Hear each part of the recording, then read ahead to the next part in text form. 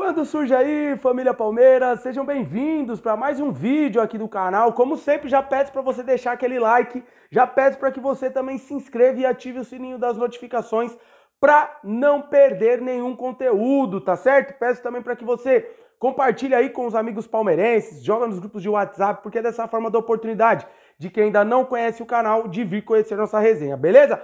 Ó, quem chega e quem sai no Palmeiras ah, eu vou te explicar tudo nesse vídeo e tem muito mais informações aí nesse segundo vídeo aí dessa sexta-feira para você que está voltando para casa ou está indo trampar, para você ficar bem informado sobre tudo que está acontecendo na nossa Sociedade Esportiva Palmeiras, beleza? Agradecendo demais aí aos novos inscritos, muito obrigado pela força, vocês fazem o resenha acontecer, beleza?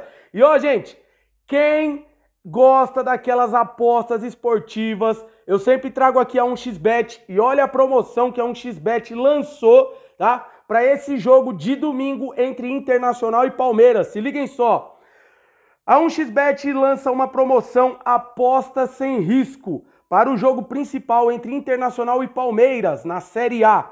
Cada usuário cadastrado, ou seja, você que já é cadastrado lá na 1xBet, pode apostar no placar correto do jogo e se a aposta perder, recebe um código promocional para uma aposta grátis no valor de até 10 reais. Então, corre lá na 1xBet, já faz a sua apostinha aí nesse jogo entre Palmeiras e Internacional. Quem sabe você não acerta o placar dessa partida, hein? E ó, se você não acertar, você vai ganhar aí é, uma aposta no valor de 10 reais, beleza? Valeu um xbet, tamo junto, parceiro aqui do Resenha Alviverde e patrocinadora de grandes clubes europeus. Ó, agora eu quero começar falando aí sobre Hendrick. Meu Deus do céu, como tá essa história do Hendrick, né? Ou no Real Madrid, ou no Barcelona, ou não sei aonde. Agora, de vez, o Chelsea entrou na parada, gente. Olha só, hein?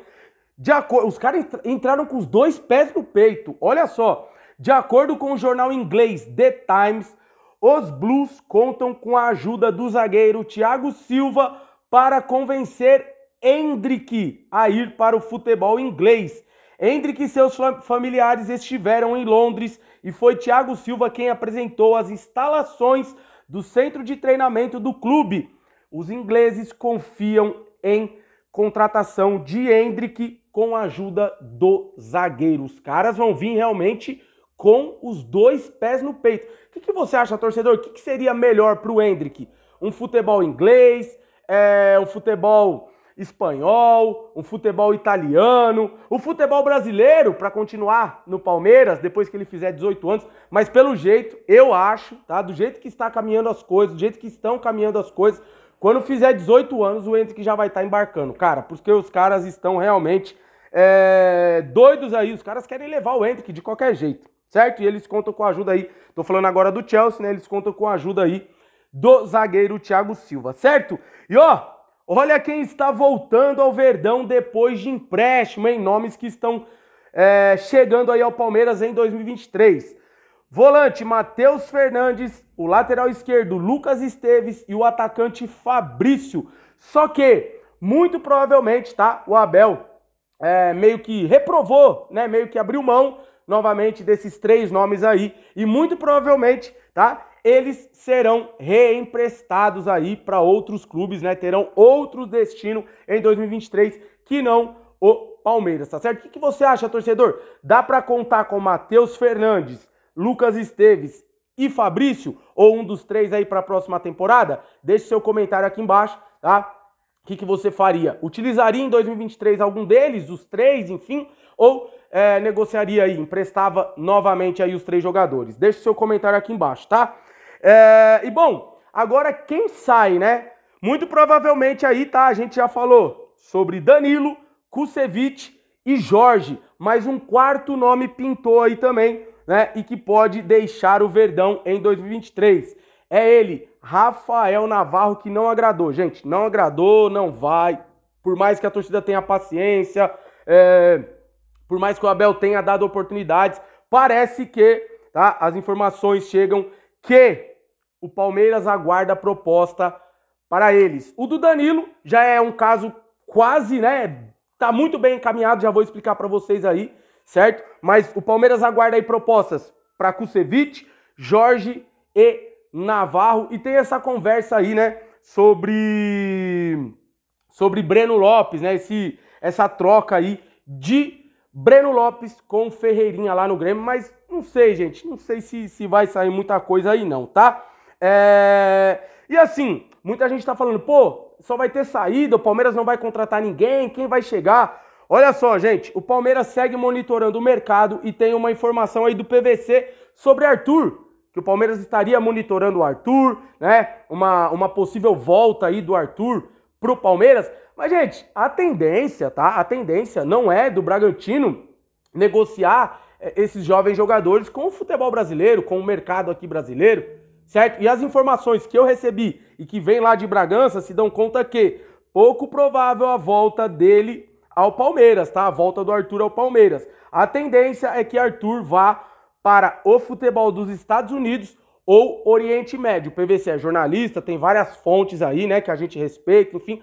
Mas as informações que chegam pra gente são que, muito provavelmente, ele vai para o futebol dos Estados Unidos ou do Oriente Médio. Então, gente, eu acho que muito difícil o Arthur vestir a, voltar a vestir a camisa do Palmeiras, né, em 2023, tá? Você acha que seria um jogador aí é, substituto do Wesley, por exemplo, também, que pode sair, a gente falou, né, na, na no vídeo da manhã, tem o Wesley também que é, o Vasco está interessado agora, tem o Bahia, né, enfim. É, aí muita gente estava falando, pô, o Arthur é o nome ideal para substituir o Wesley. O que, que você acha? Ou não? Você acha que deixa o Arthur aí lá no Bragantino, deixa ele ir para outro clube? Deixa os comentários aqui embaixo, tá? E só lembrando também, o Flamengo estava de olho aí no futebol do Arthur, certo? E ó, rapaziada, eu falei no Danilo, né, que tá bem encaminhado aí. Olha a informação. O Arsenal fará proposta ao Palmeiras de mais ou menos 170 milhões de reais por Danilo. E tudo indica que por esses valores a Leila irá aceitar e fechar negócio com os ingleses. Por esse valor você fecharia a venda do Danilo ou não? Deixe seu comentário aqui embaixo. E de acordo com o jornalista Graeme Bailey, a negociação está em um estágio bem avançado, tá? Podendo ser concretizada antes de janeiro. Vocês lembram que eu, eu falei aqui que o jogo do, do Palmeiras com o América Mineiro poderia ser o último jogo do Danilo no Allianz Parque? Então, porque as informações que chegam pra gente, tá? E de acordo agora, é, tá circulando muito lá na, na Inglaterra, e de acordo aí ao jornalista Graeme Bailey, o negócio está no estágio a negociação está no estágio bem avançado e pode ser concretizada antes de janeiro, tá? Por esses valores, você negociaria o Danilo? Comenta aqui embaixo, 170 milhões de reais, tá? E caso aí as tratativas sejam concluídas, o Verdão tem como objetivo, já falamos aqui também, Zanocelo. Vinícius Zanocelo, que está emprestado ao Santos, pertence à Ferroviária, tá? Já jogou também na Ponte Preta, pertence à Ferroviária, está na mira. O Palmeiras também tem ali é, os olhos voltados, né, para o Vinícius Anocelo, meio-campo aí que está no Santos. E também o Wallace, que nós falamos aqui, tá? Também aí para substituir Danilo. O que, que você acha? Bons nomes aí ou não? Deixe seu comentário aqui embaixo. Ah, e só uma observação. Falei aqui sobre o Júnior Urso, né, que o Palmeiras estava interessado, né? Ele é ex-Corinthians, ex-Coritiba, ex-Atlético Mineiro. Muito provavelmente as informações que chegam aqui para mim agora é que ele está acertando com o Vasco da Gama. Vocês lembram que eu falei que ele queria voltar para o Brasil e o Palmeiras também é, estaria ali, né? Teria um possível interesse aí no Júnior Urso, porque nós vamos perder o Danilo, gente. Nós, se não por esses valores aí, um pouco maior, um pouco menos, mas é quase certo, tá, que nós perderemos Danilo aí para 2023, certo? Então, só para fechar a informação aí do Júnior Urso, que eu falei aqui, muito possivelmente também é, o Palmeiras iria iniciar as negociações, ele deverá estar indo para o Vasco, tá? Muito provavelmente vai para o Vasco, né? É isso, as informações chegam, vai pipocando, o mercado da bola é assim, futebol a gente sabe como é que é, as negociações são dinâmicas, então a gente não crava nada, a gente sempre fala é muito provável, né? Por mais que tenha gente falando, não, pode cravar, a gente sempre tenta manter aqui um equilíbrio, tá? Então vamos aguardar aí, seguimos apurando todas essas informações para deixar vocês sempre bem informados. Peço para que deixe aquele like para fortalecer, não se esqueça, já se inscreva, compartilha nosso vídeo aí, nosso canal. Tamo junto, muito obrigado mais uma vez pela audiência e avante palestra.